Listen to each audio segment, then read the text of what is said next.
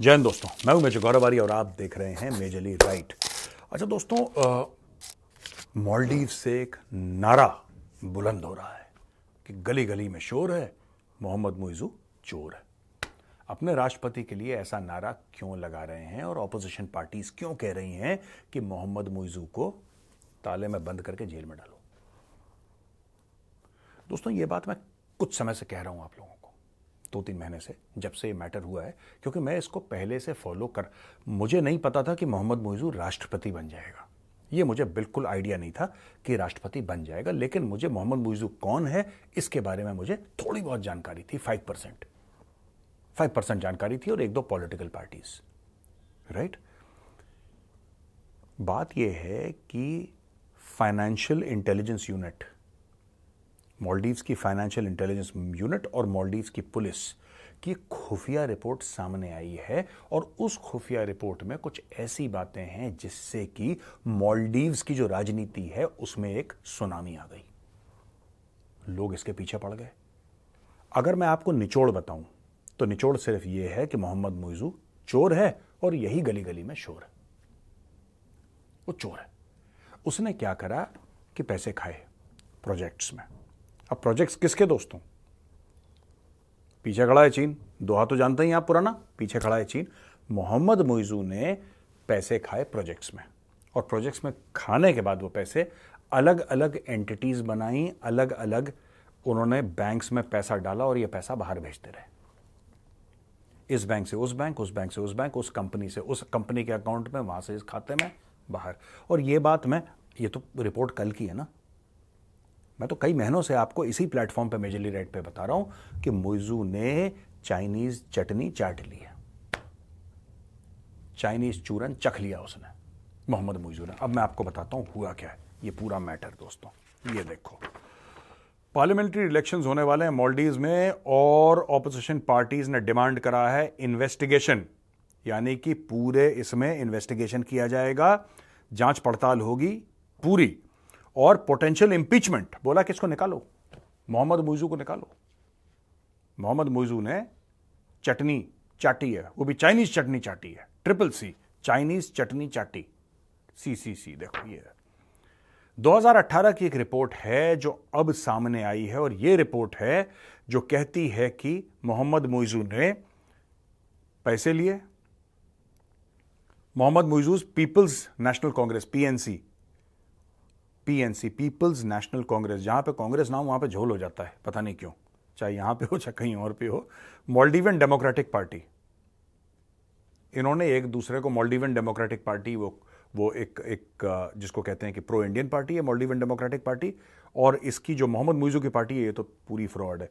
तो इसने बोला है कि भाई turmoil sparked by Hasan Kurusi sharing leaked intelligence reports on social media Hasan Kurusi ने शेयर कर दिया सोशल मीडिया पर उसने बोला कि भैया, ये रिपोर्ट है। अगर तुम्हें ऐसा लगता है कि कोई व्यक्ति विषय झूठ बोल रहा है तो ये रिपोर्ट है। सबको दे दी उसने। क्या लिखती है? तुम्हारी खुद की पुलिस क्या लिखती है?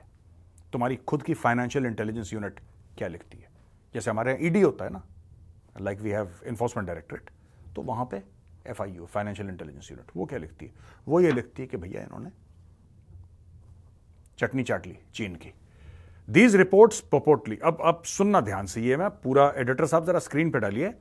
ये जो रिपोर्टें हैं, ये इस तरफ़ इशारा करती हैं और ये लिंक करती हैं प्रेसिडेंट मुइजू को फाइनेंशियल मिसकंडक्ट यानी कि घूसखोरी citing irregularities and money transfer to his personal bank account Muizzu ने सरकारी पैसा जो था, वो अपने पर्सनल बैंक अकाउंट में डलवा दिया। और possible involvement with politically exposed individual जो लोग जिनकी राजनीति गड़बड़ थी, जो पॉलिटिकली एक्सपोज थे, जिनको लोग अच्छा नहीं मानते थे, जो क्रिमिनल एलिमेंट थे, उनके साथ इनकी सांठगांठ है एम्बेजलमेंट यानी कि सीधी चोरी। एक तो घूस होती है ब्राइबरी एक एम्बेजलमेंट है, उसने सीधा चोरी नहीं करी, भाई ने डकैती डाल दी, मुइजू ने।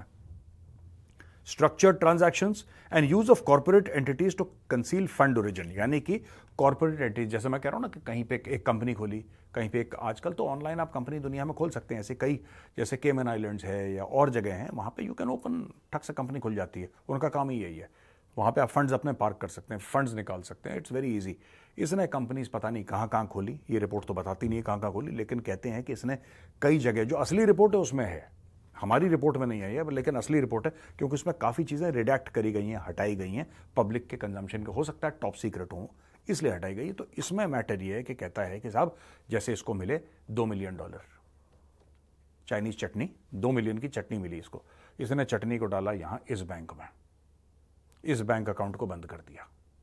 फिर इस चटनी को डाला तीन अलग अलग अकाउंट में। राइट? यानी कि दो मिलियन, तीन अलग अलग, एक में एक मिलियन चला गया, एक में पाँच सौ, एक में पाँच सौ। फिर ये वाला अकाउंट बंद कर दिया।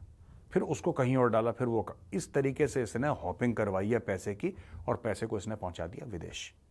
अब पता ही नहीं लग रहा कौन किस कंपनी में, कौन किस कंपनी में, पता ही नहीं। हो सकता है बोर्ड ऑफ़ डायरेक्टर में भी ना हो। ये इसने किसी दोस्त, यार, अपने जो पार्टनर्स इन क्राइम है उसके थ्रू करवाया तो मोइजो ने करवा दिया है।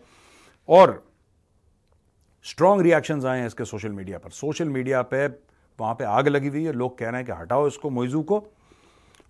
इनके जो पूर्व vice president doctor Mohamed Jameel Ahmed, Mohamed Jameel Ahmed ने यह बोला है कि मोहम्मद मोइजू जो है वो चोर है, उसके ऊपर इंपीचमेंट की कार्रवाई होनी चाहिए। इंपीचमेंट कब होती है दोस्तों, जब प्रेसिडेंट को या किसी को भी पार्लियामेंट के वोट के थ्रू हटा दिया जाता है, क्योंकि उस लेवल पे आप ये नहीं कह सकते कि भाग यहाँ से। ये भाग यहाँ से नहीं हो सकता उस लेवल पे राइट उसकी तो इंपीचमेंट होती है। जैसे कि भारत में भी प्रोविज़न है राष्ट्रपति की इंपीचमेंट का या सुप्रीम कोर्ट के जजेस की इंपीचमेंट का, और भी जजेस की इंपीचमेंट का but that is a very serious matter बहुत सीरियस मैटर है। यूएस में डोनाल्ड ट्रंप की इंपीचमेंट की बात हुई थी कि प्रेसिडेंट ट्रंप को इम्पीच करा जाए। You know when he was in power तब की बात है। मुइजू ने मना कर दिया है। मुइजू ने कहा है कि मैंने कोई चाइनीज़ चटनी नहीं चाटी है और मैंने कुछ चूरन नहीं चखा है। और कह रहे हैं ऑपोजिशन वाले परेशान हैं मुझसे, इसलिए मेरे ऊपर लांछन लगा रहे हैं। Acquisition related to Ras Male development project एक प्रोजेक्ट था Ras Male R A S M A L E Ras Male development project and excessive spending on public relation खुद की फोटोग्राफ लगा के। खुद की फोटोग्राफ लगा के, खुद का माल बेच के कि मैं कितना बड़ा मसीहा हूँ मॉलडीव्स के लिए, इसने ये भी काम गलत करा है। और despite opposition calls for investigation no official opposition कह रही है कि भैया इन्वेस्टिगेशन होना चाहिए। इन्वेस्टिगेशन होना चाहिए इन्वेस्टिगेशन होना चाहिए। जाँच पड़ताल करो। इसने चोरी करी है कि नहीं करी? क्योंकि इंटेलिजेंस की रिपोर्ट आई है। अब उसके ऊपर जुडिशियल कमीशन बैठना चाहिए वहाँ पे। मॉलडीव्स में जो जज हैं मॉलडीव्स के, वो बैठ के इन्वेस्टिगेट करें इसको। लेकिन ये चुप बैठा ये ये बात ही नहीं कर रहा। ये कह रहा नहीं, मुझे फंसा रहे हैं। ना ये कोई प्रूफ दे रहा है, ना कुछ कह रहा है। और ये बिल्कुल इसको इग्नोर कर रहा है। दोस्तों, मैं आपको बताता हूँ ना मैंने कई बार इस पर पहले बात करी और कई लोग मुझसे कहते हैं, नहीं, मेजर साहब, अब तो चाइना के पीछे पड़ गए, ऐसा छोड़ना है। दोस्तों, ये भी प्रूफ आई है ना, अभी और प्रूफ आएगी। मैं आपको बता रहा हूँ, विश्वास करो मेरी बात का, और प्रूफ आएगी मॉलडीव से। क्योंकि इस आदमी ने, इस आदमी ने बहुत ऐसा करा है कि चाइना, देखिए चाइना क्या करता है। मैं बार बार आपको यही बात बताता हूँ, चाइना करता क्या? भारत जब मदद करेगा ना किसी देश की, भारत सरकार को पैसा देगा। जैसे अगर भारत ने मॉलडीव्स की मदद करी, ठीक है? भारत ने मॉलडीव्स की मदद करी तो भारत ने मॉलडीव्स की सरकार को पैसा दे दिया कि जी, ये आपके लिए है, आप इसको इस्तेमाल करो। राइट भारत पीछे हट गया। चीन ऐसा नहीं करता। चीन थोड़ा सा पैसा नन्ना मुन्ना सा पैसा सरकार को दे देगा कि मेरा भी वहाँ पे प्रेजेंट लग जाए पी लगा देते हैं ना रजिस्टर पे। मार्ट साहब पी लगा देते हैं क्लास में पी तो चाइना का पी लग जाए और मोटा पैसा मुइजू की जेब में। मुइजू की जेब में। अब मुइजू की जेब में आपने कई मिलियन डॉलर डाल दिए। मुइजू बन गया अमीर। अमीर बन गया, लेकिन पापा किसको मानेगा? पापा तो चाइना को मानेगा अपना।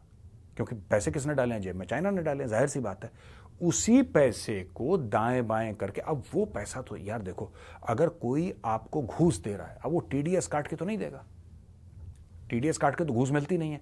घूस जो मिलती है कैश में मिलती है। अब अगर कैश में मिलती है तो फिर उसको बैंक में आप कैसे डालेंगे? फिर उसके ट्रेसेस आप कैसे साफ़ करेंगे? ये बहुत बड़ी बात है।